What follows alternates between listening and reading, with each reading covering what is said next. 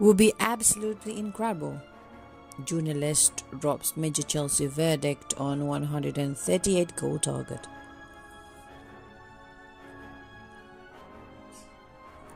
Chelsea target Alvaro Morata's return to Stamford Bridge would be absolutely incredible, but is unlikely to happen ahead of the transfer deadline, according to journalist Paul Brown.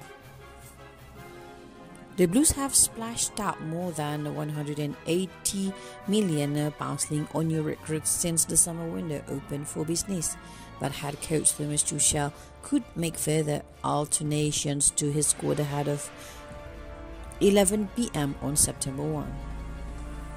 According to Spanish sources, Chelsea have sounded out a deal for Atletico Madrid front Matt Morata. The report suggests the 55 cap Spain international has emerged as an alternative option if a move for Barcelona's Pierre-Emerick Aubameyang fails to come off. Manchester United are reportedly viewing a move for Morata as a genuine possibility as well and have had talks of a switch to Old Trafford. It is understood that Atletico Madrid are willing to sell their 29-year-old for 29.6 million pounds before the transfer window slam shut.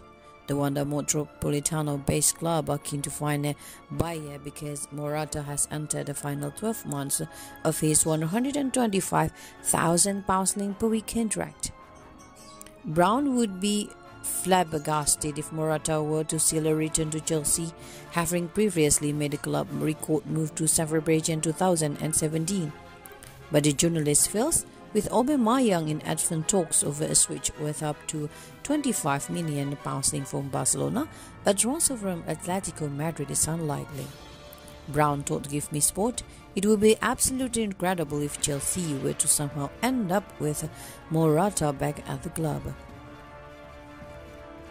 I think that would be absolutely amazing considering how hard time he had before and how little he feels like a Thomas Tuchel player.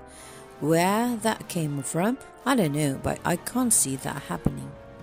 It looks like they will get Aubameyang and I don't think you'll see Chelsea sign another striker after that. That's probably the way they'll go this way. Morata has enjoyed a hugely successful career, having found the back of the net 138 times over the course of his senior club career and clinched a host of trophies. However, the Spaniard failed to produce his best form during his previous spell with Chelsea as he only scored 16 goals in more than 300 minutes of Premier League action. With that being the case, and Morata potentially being available as free agents when his Atletico Madrid contract expires next summer. Tuchel may be better off looking elsewhere as he seeks replacements for Romelu Lukaku, who has rejoined Inter Milan on loan, and 25.3 million pounds RB Leipzig signing Timo Werner.